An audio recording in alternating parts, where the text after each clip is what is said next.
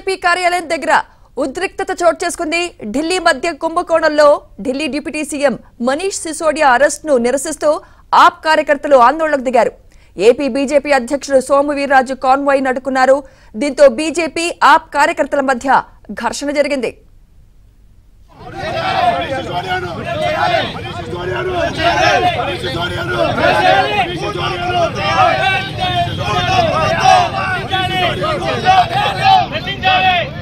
తిరుపతి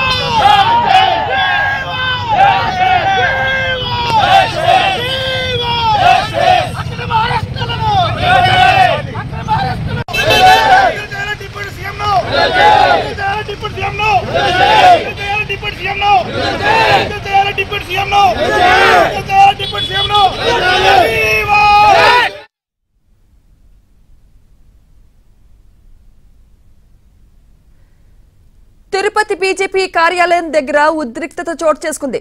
ఢిల్లీ మద్యం కుంభకోణంలో Delhi deputy CM Manish Sisodia అరెస్ట్ను నిరసిస్తూ ఆప్ కార్యకర్తలు ఆందోళనకు దిగారు. ఏపీ బీజేపీ అధ్యక్షుడు సోము వీర్రాజు కాన్వాయ్ను అడ్డుకున్నారు. దీంతో బీజేపీ ఆప్ కార్యకర్తల మధ్య ఘర్షణ జరిగింది.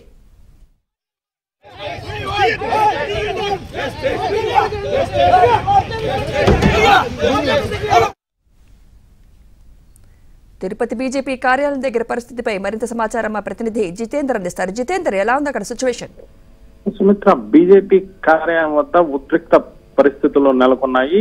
ఎమ్మెల్సీ ఎన్నికల్లో బీజేపీ అభ్యర్థిని గెలిపించేందుకు ప్రచారం చేసేందుకు వచ్చినటువంటి సోమ్ వీర్రాజు అక్కడ ఆ, నాయకులతో సమావేశం నిర్వహించి ఆ తర్వాత బయటకు వచ్చిన సమయంలో ఆమ్ ఆద్మీ పార్టీ కార్యకర్తలు పెద్ద ఎత్తున బీజేపీ కార్యాలయం వద్ద చేరుకొని శాంతియుతంగా నిరసన చేపట్టారు.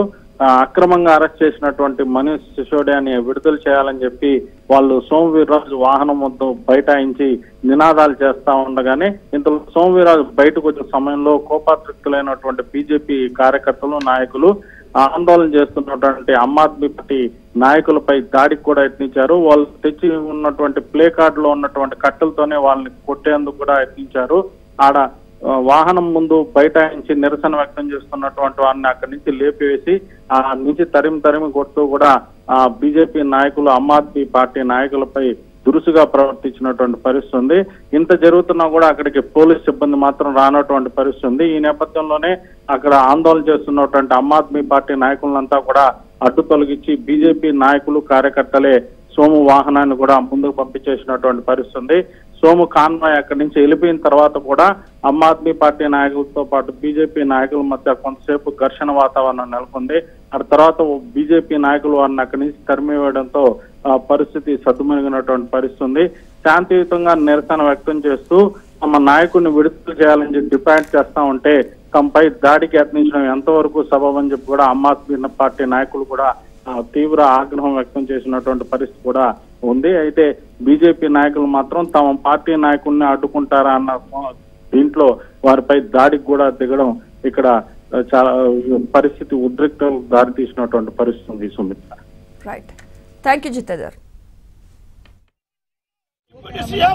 అయినటువంటి మనోజ్ గారు ఢిల్లీలో విద్యని ఒక ఆహ్లాదకరంగా ఒక చక్కటి వాతావరణంలో ప్రపంచానికి ఒక మోడల్ లాగా విద్యారంగాన్ని విద్యా వ్యవస్థని తీర్చిదిద్దినటువంటి ఆదర్శ డిప్యూటీ సీఎం గాను విద్యాశాఖ మంత్రి గాను పనిచేసినట్టు మీకు అందరికీ తెలిసిందే అయితే ఈరోజు ఆయన్ని తప్పుడు పద్ధతిలో ఆ యొక్క సంబంధించినటువంటి మద్యం కేసులు విరిగించి ఆయన అరెస్ట్ చేయడాన్ని యావత్ భారతదేశం మొత్తం కూడా తీవ్రంగా వ్యతిరేకిస్తుంది.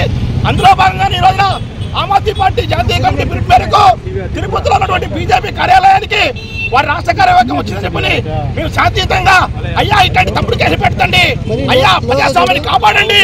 మీ చేతిలో అధికారం ఉన్నది కేంద్రంలో చెప్పని సిబిఐని ఉపయోగించుకొని తప్పుడు కేసు పెట్టద్దని చెప్పని శాంతియుతంగా మేము వస్తే మమ్మల్ని అడ్డుకొని మా కార్యకర్తలు కొట్టి చిత్రహింసలు చేసినటువంటి ఈ బీజేపీ వాళ్ళపైన తక్షణమే ప్రభుత్వం చర్యలు చేపట్టాలని చెప్పని ఆమ్ ఆద్మీ పార్టీ తిరుపతి జిల్లా నుంచి డిమాండ్ చేస్తున్నాం.